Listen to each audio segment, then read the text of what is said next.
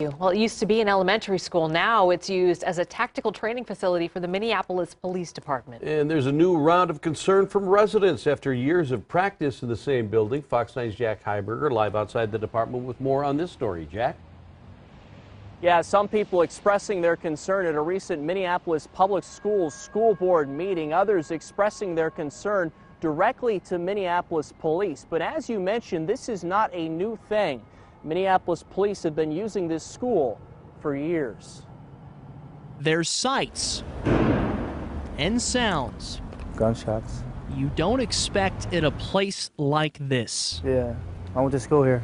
At one time, a gun or shell casing was about the last thing neighbors would ever expect to see at Willard Hay Elementary. This facility has been in use with the Minneapolis Police Department for several years. But for nearly 10 years, the now empty building has taken on a new role. Minneapolis Public Schools leasing the old building to Minneapolis Police. And this is another training that is providing the officers all the tools and the training necessary to keep the public safe. Officers using what's referred to as simunition. Simunition is the world leader in safe, realistic interactive firearms training. A non lethal training round seen here in a promotional video for the ammunition. The people that live around the, in the neighborhood are not actually hearing gunshots, they're hearing something very similar to a cap gun.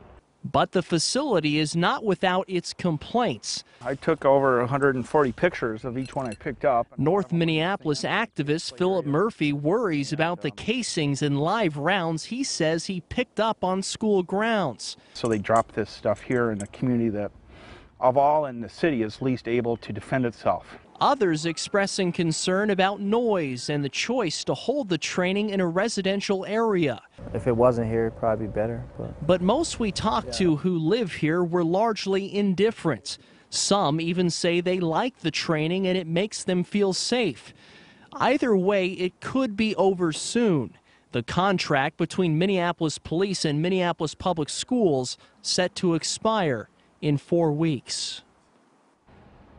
And Minneapolis police also use other facilities in the city for this tactical training. No word yet on whether or not they're going to renew this contract. Reporting live in Minneapolis, Jack Heiberger, Fox 9.